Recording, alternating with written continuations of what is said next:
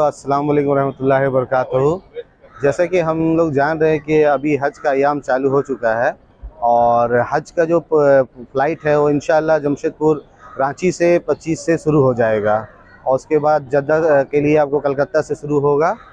मे भी एक तारीख के बाद और अभी इसके लिए, हज के लिए भाई सबसे बड़ी चीज़ है कि एक बहुत बड़ा फ़र्ज़ है ये और उसको सही तरीके से अदायगी के लिए हज में क्या सुन्नत है, क्या वाजिबात है, क्या नफिल है ये जानने के लिए ट्रेनिंग करना बहुत ज़रूरी है।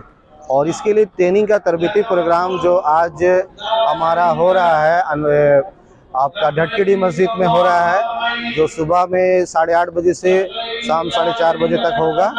और ये मस्तूरात के लिए भी है और इन इसमें हमारे मर्द हजरात के लिए भी है।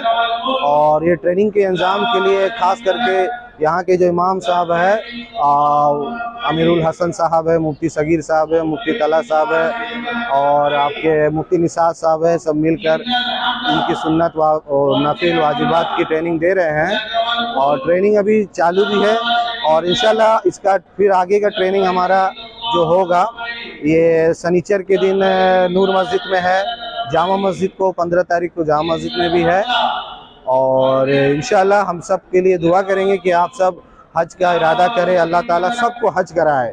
क्योंकि ये एक बहुत ही पाक मुकद्दस ज़मीन है मक्का, मदीना, जो इस्लाम का हमारा लैंडमार्क है। तो अल्लाह हम सबको वहाँ तक पहुँचाए।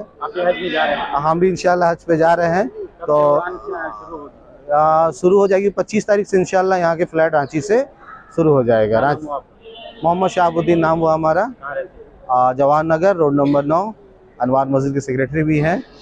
इंशाल्लाह हमारे लिए भी दुआ कीजिए और सारी उम्मत के लिए आप सब दुआ कीजिए। इंशाल्लाह।